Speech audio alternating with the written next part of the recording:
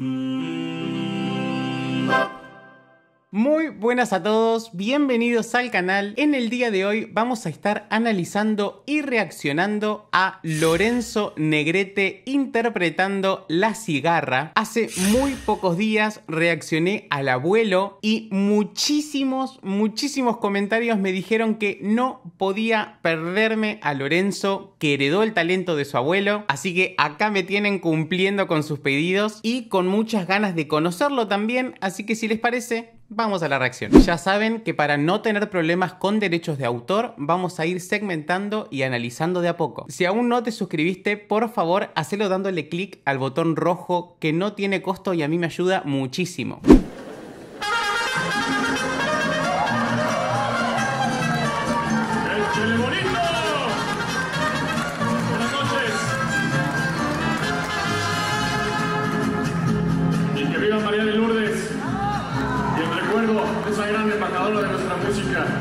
Canción que se llama La Cigarra.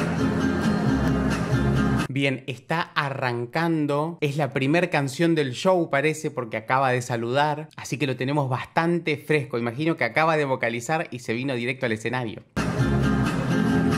Ya no encante cigarra, que acabe tu sonsonete, pues tu canto aquí en el alma, como un puñal se me mete,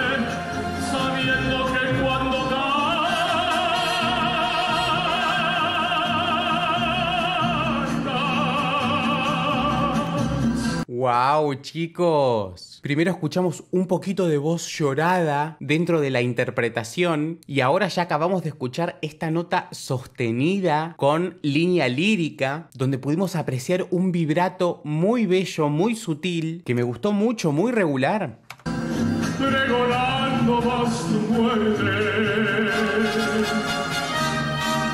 Marinero, marinero,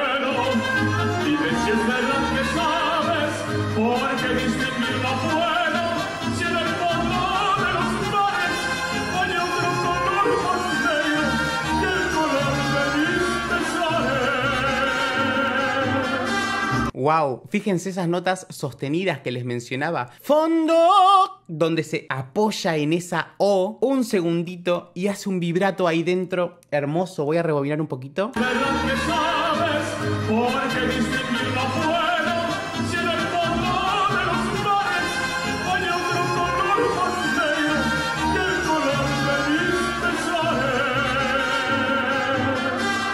donde ahí tenemos una gran apertura y un paladar alto, lo que le da esta línea clásica, ¿no? Que tanto nos hace acordar a su abuelo. Hay, hay algo, hay algo que uno dice, sí, sí, la influencia es inmensa.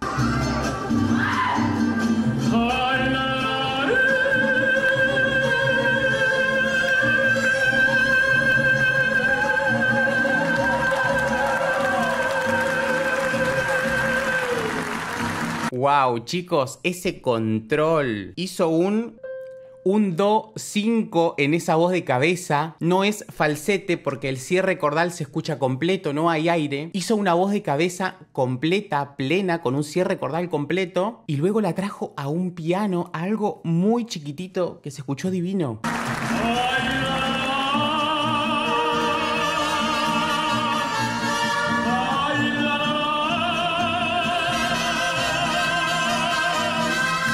Miren esa apertura de boca vertical, ¿no? Cuando uno siente que la mandíbula no baja más, se puede bajar un poquitito más y acá tenemos el ejemplo.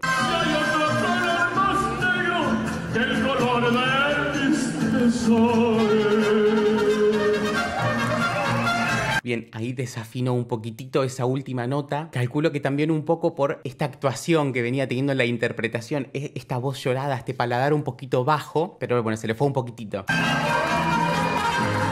Y hay que cantar al sufrimiento cuando el amor sufrido no venga, porque la muerte nos espera.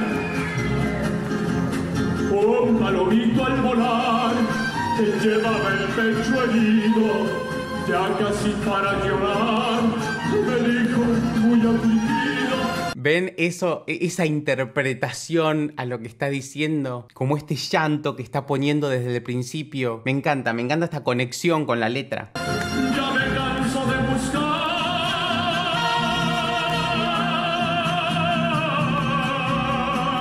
Esa colocación, chicos, 100% clásica con ese vibrato y esta escalerita descendente dentro del vibrato que es tan clásico de México y no es nada fácil de hacer. Qué maravilla.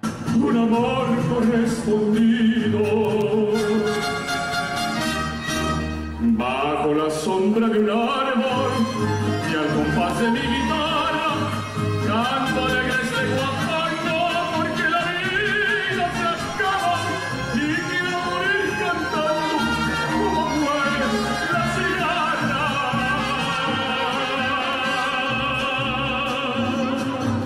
Cómo en cada oportunidad que puede hacer un sostenido en una letra se apoya perfectamente y emite ese sonido maravilloso, plenamente clásico, que es donde uno dice, está el abuelo ahí, es increíble.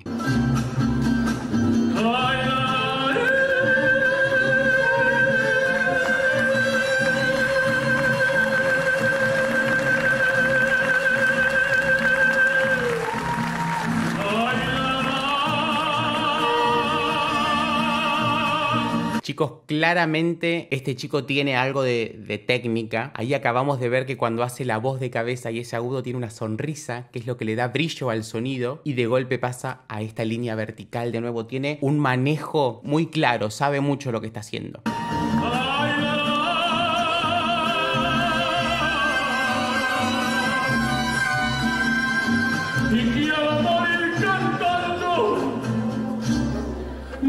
muere.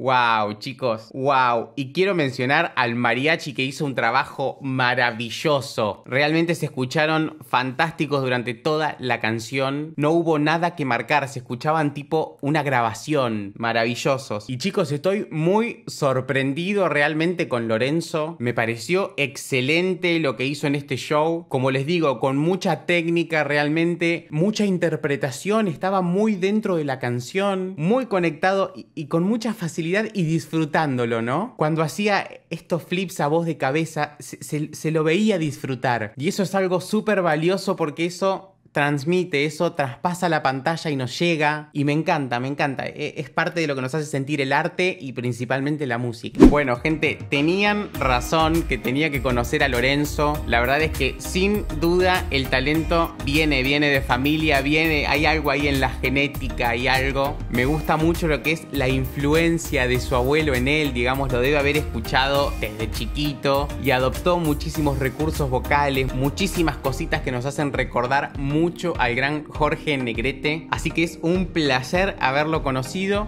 Ya saben que si quieren que reaccione a él o a cualquier otro artista, me lo dejan en comentarios. Saben que los leo y los contesto todos. Si aún no se suscribieron, por favor, denle click al botón rojo y activen la campanita para enterarse de cuando suba nuevos videos. Si están sus posibilidades colaborar con el canal, pueden darle click al botón azul que dice unirse y adquirir alguna de las membresías. Síganme en redes sociales y nos vemos la próxima para seguir compartiendo mucha más música. Chao.